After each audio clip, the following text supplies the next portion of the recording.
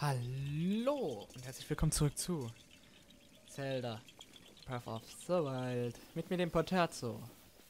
Und heute wir gucken noch weiter ein bisschen hier, ne? Das hier so, wollen hier hinten hingehen. Ne? Mal gucken, wo vielleicht auch mal hier noch hingehen, also so hier hinten einfach mal ein bisschen rum.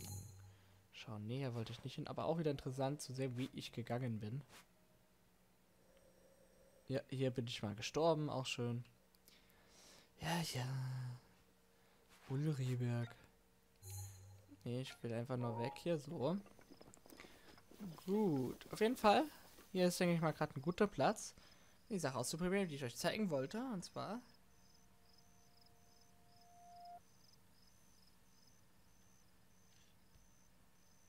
Geht das nicht?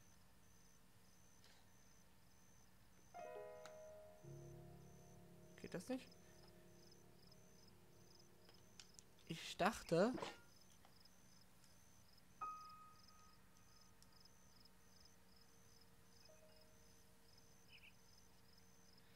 Ich dachte, das ginge.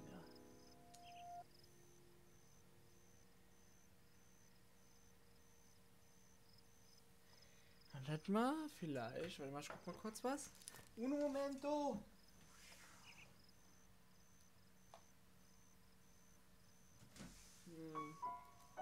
Okay. Am normalen Controller sieht man. Warte mal, also ich guck mal kurz was.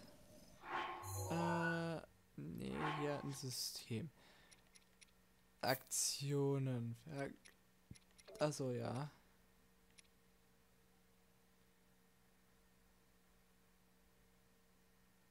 Äh. Okay. Was wollte ich machen? Ich wollte eigentlich ein Amiibo draufsetzen. Also den Wolf-Link Amiibo. Oder muss es hier vorne ran? Auch nicht. Ja, ich spiele ja mit dem normalen Pro Controller. Und der kann das nicht erfassen. Da steht ja irgendwo noch Amiibo-Funktion. Nein. Wie habe ich bei Splatoon 2 gemacht? Das habe ich auch mit, den, mit dem Controller gemacht.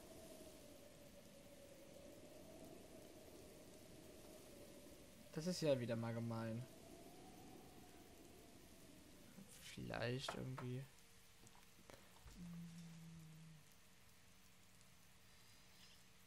Ich könnte schnell meine Konsole, äh, die Switch rausziehen, aber das will ich jetzt auch nicht.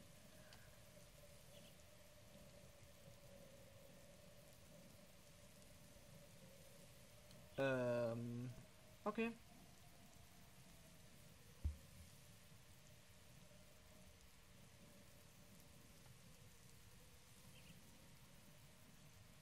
Okay. Okay, okay, dann stelle ich ihn wieder zur Seite. Dann gehen wir einfach ohne ihn weiter. Ist war jetzt schade, aber werde ich mich nochmal informieren.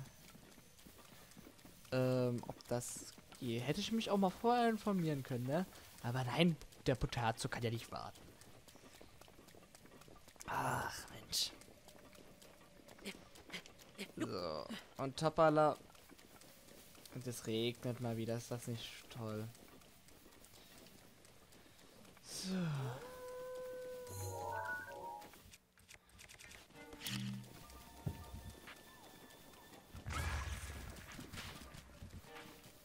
Jawohl. Rennt mal wieder. Rennt mal lieber weg. Können wir erstmal Luxuswild erhalten. Sehr schön, sehr schön. Ah, Lohnt es sich eigentlich an der Küste lang zu laufen? Eher weniger. Was ist denn das? So, dann kriegt man erstmal nochmal einen Sekt, eine Glutgrille. Äh, Glutblibelle, so rum nicht Glut, ne. Da ist auch gleich Unterstein, den wir brauchen. Und setzen den hier an die fehlende Kreisstelle. Ja, du hast mich entdeckt. Tschüss. Wir haben 69. Ihr wisst, was das bedeutet? Nicht nur ne und so, sondern dass wir auch sehr viel haben. Das sieht irgendwie aus, als wäre hier was, aber hier ist nichts. Was ist das da? Also, das sind diese Flammen, ne? Genau, wenn wir diesem Pfad folgen, müssten wir dann zu so einem Leuchtturm kommen. Wenn wir es sehen, vielleicht kommen wir da auch diesen Part an. Auf jeden Fall, wenn ich jetzt hier mal gucke, warte mal, muss doch irgendwo noch ein Strahl nach oben gehen. Da hinten ist noch ein Schrein. Ähm, da ist doch schon. Ja, ich bin mal bis sehr gut. Ich will mal ein bisschen doch ein bisschen mehr einsammeln aufgrund, weil uns ja jetzt schon Items fehlen für die Verbesserung unserer Rüstungen. Boah, Regen ist so kacke.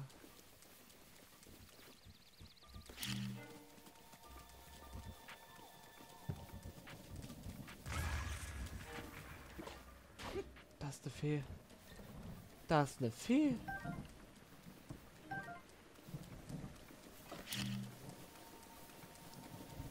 Da sind Rehe.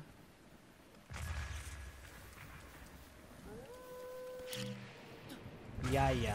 Also, jetzt ist aber auch nur im Gewitter, ne?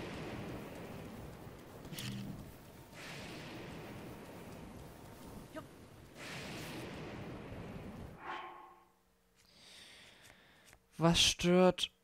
Du, die Axt stört. Nehmen wir hier. Die hier. Dann sollte es eigentlich alles. Geht halt nicht, hab jetzt schon eingeschlagen. Oh, oh, oh, oh, oh. Ich dachte, die Unwetterphase haben wir besiegt. Ja, wir sind ja aber hier auch im Ost, Südosten. Ne, Nordosten. Besser.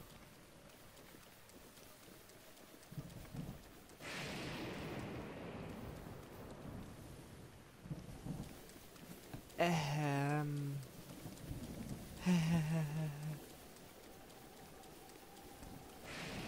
Weil, wisst ihr noch, wo ich am Anfang versucht habe, mit Billowaffe zu besiegen und den beinahe besiegt habe sogar? Ja. Das waren noch Zeiten. Aber ich mache trotzdem noch einen großen Bogen um das Vieh.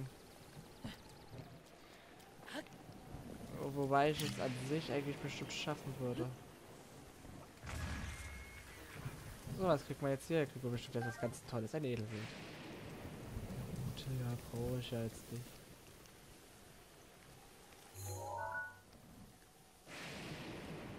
Das ist bestimmt der umgebaute Leuchtturm. Den bekommen wir wahrscheinlich eh nicht mehr. So, guck mal kurz über jetzt mehr, ob wir hier irgendwas sehen. Nee, sehen wir nichts. Guck mal, hier ist dieses labyrinthartige Ding.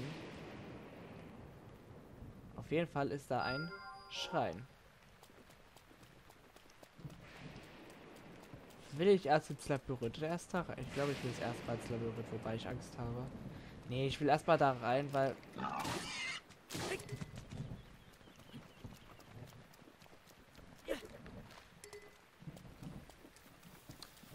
Das hat ja super viel Schaden gemacht. Naja. Nehmen wir einfach mal Fuxi, Fuxi, Duxi mit.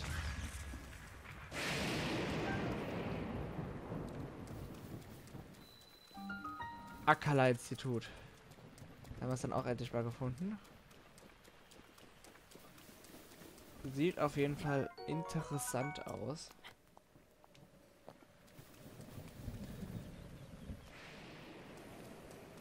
Komm, mir muss es doch hier... Hier, du hast noch was, oder? Habt ihr nichts mehr.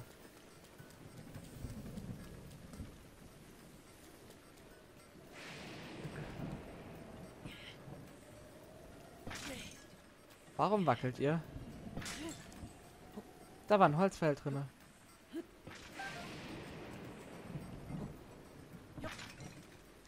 Habe ich mich schon beschwert, dass wir nicht in Fenster reingucken können? Wir können in Fenster reingucken.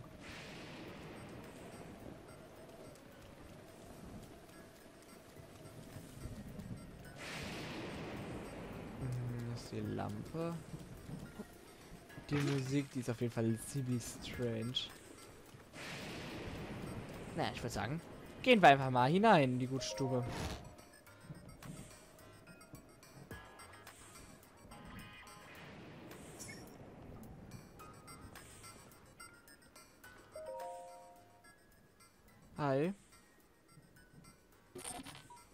für tun und hat.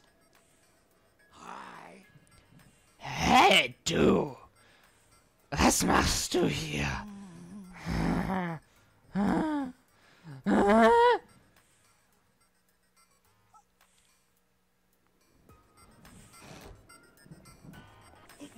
Ja, meine Fackel. Robellos mamoieren.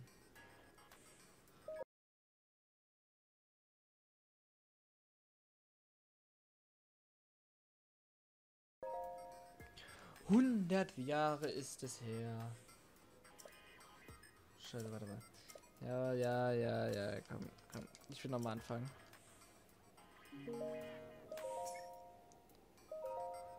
Hundert Jahre ist es nun her. Prinzessin Zelda war gerade von der Verherrung Ganon verschluckt worden.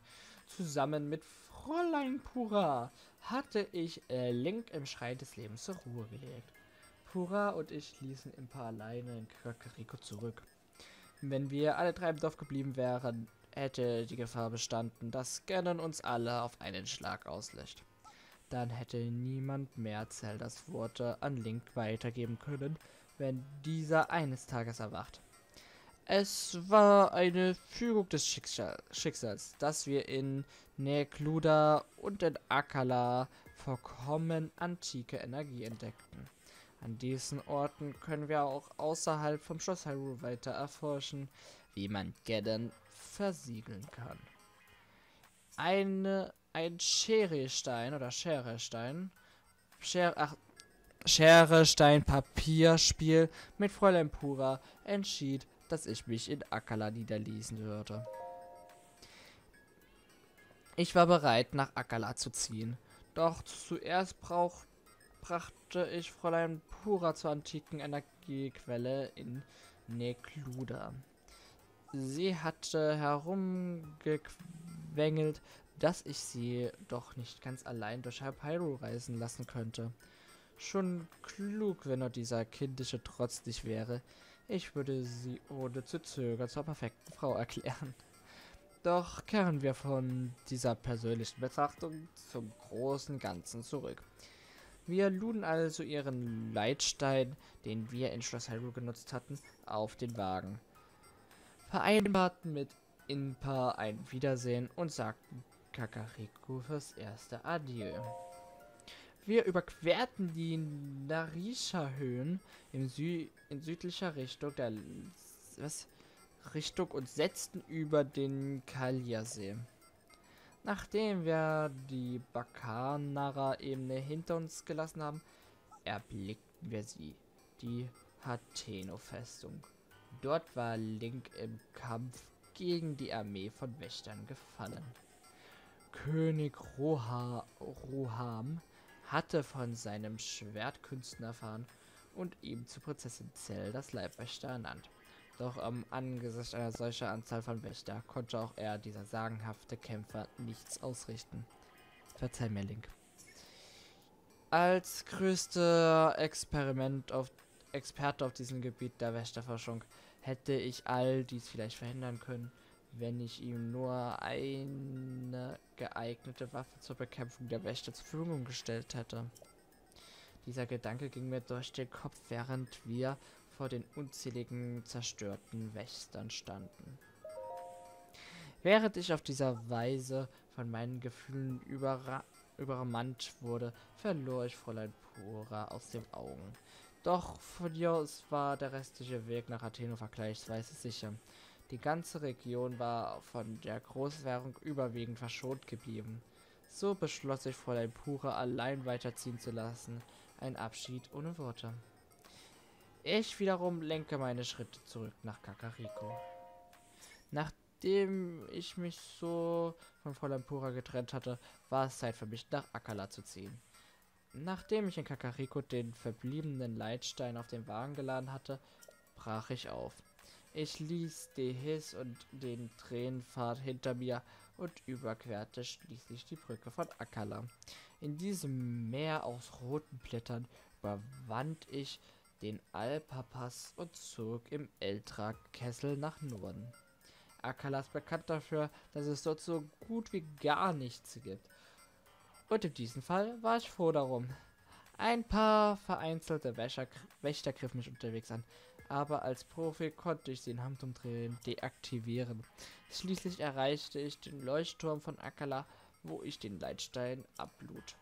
Um die Bewegungen der Monster im Auge zu behalten, gab es keinen geeigneten Ort als einen Leuchtturm. Ich beschloss mich hier einzurichten. So setzte ich also endlich in süßer Einsamkeit meine Forschung fort. Für den Tag, an dem Link erwachen würde, wollte ich alles über antike Ausrüstung wissen, was es zu wissen gab. Von welke Plateau die blauen Flammen holen, Materialien einschmelzen, antike Ausrüstung schmieden. Ich schuftete von morgen bis abends und ein Tag glich dem nächsten, ohne dass ich große Fortschritte machte. Da kam ich auf eine Idee. Ich würde die Verarbeitungsprozesse der Materialien automatisieren. Sofort machte ich mich daran, den Leitstein umzubauen.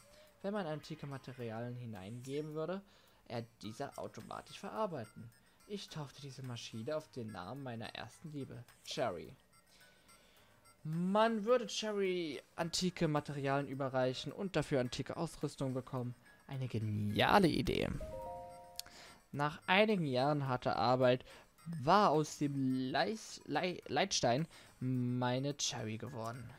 Doch auch nach diesem Triumph konnte ich schlecht meine Hände in den Schloss, in den Schoß legen. Sie konnte nur Materialien verarbeiten, aber noch nicht direkt antike Ausrüstung daraus herstellen. Und wo ich schon einmal dabei war, wäre es nicht schön, wenn Cherry sprechen könnte.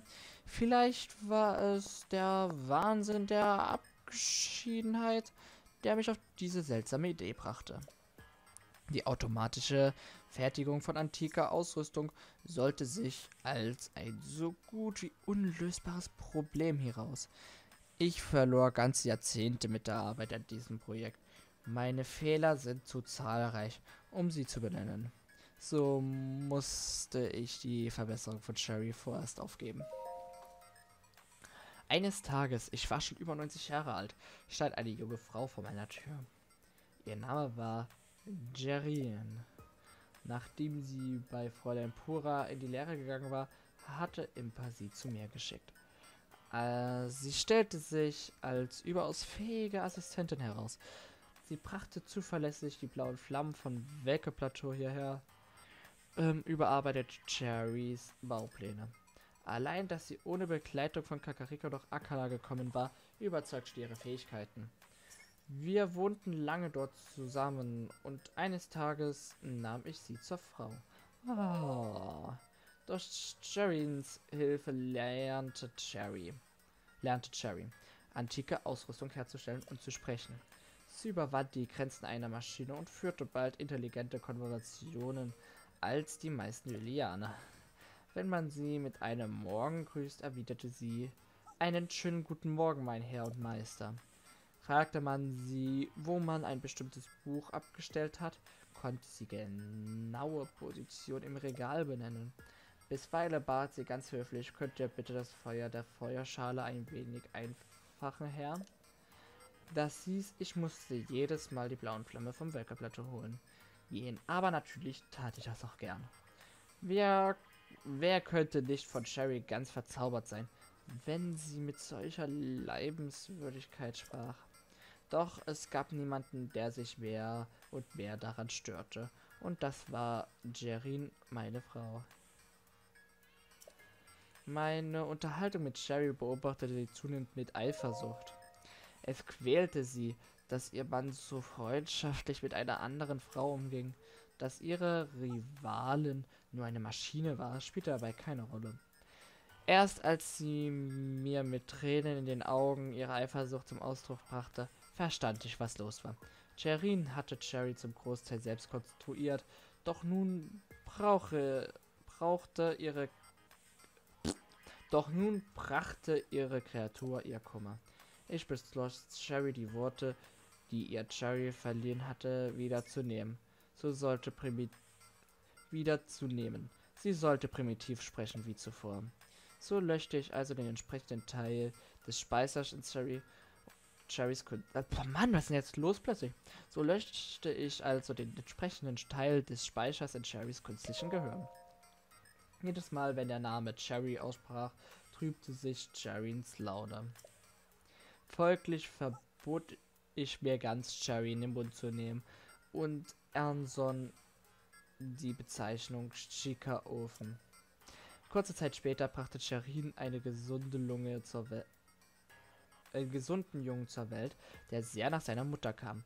Wir nannten ihn Gratian und lebten zu dritt, unsere Maschinen nicht mitgezählt, hier im Akala-Institut. Inmitten des berüchtigten Friedens, den Prinzessin Zelda uns mit ihrem Kampf gegen die Färbung erkauft hatte. Als Garantie an die drei Jahre alt war, ach so, als Gratian an die drei Jahre alt war, erreichte uns unerwartet ein Brief von Fräulein Pura. Sie teilte mir mit, dass sie einen Weg gefunden habe, das Stasis-Modul und auch die übrigen Module zu verbessern. Seit unserem Abschied an der Hateno-Festung hatte ich sie nicht mehr gesehen. Jahrzehnte waren vergangen. Ich erinnere mich daran, dass sie in ihrem letzten Brief von einem Assistenten berichtet hatte. Dieser war aus Kakariko zu ihr geschickt worden. Doch sie bezeichnet ihn als absolut nutzlos. Auch ich hatte keine Zeit, in Frieden vor mich hinzuleben. Ich musste die Erforschung antiker Ausrüstung vorantreiben. Wie gemein, das ist überhaupt nicht nutzlos gewesen. Gratian schoss wie ein Pilz in die Höhe, bis er schließlich ein stattlicher Bursche war, der mich überragte. Beim Tragen der blauen Flamme vom Welke-Plateau zum Institut stellte er sich überaus geschickt an. So schlug ich ihm vor, er soll auf eine Reise durch das ganze Land gehen, um seine Fähigkeiten weiter auszubilden. Gratian war immer sehr eigenständig gewesen, dennoch war ich erstaunt, als er noch am selben Tag aufbrach. Einige Tage zuvor hatte ich bei Fräulein Pura angefragt, ob ich nicht Gratian, äh, Gratian als Lehrling zu ihr senden könnte. Zurück kam ein Brief nur mit einem Satz, der nur mit einem Satz stand, Schick niemanden hierher. Ich frage mich, was sie wohl zu dieser Antwort veranlasst hat. Als Gratian an die drei Jahre alt war, weil das haben wir doch schon, oder? Oder ging nur noch zurück? Okay. Da haben wir ja ganz viel gerade gelesen.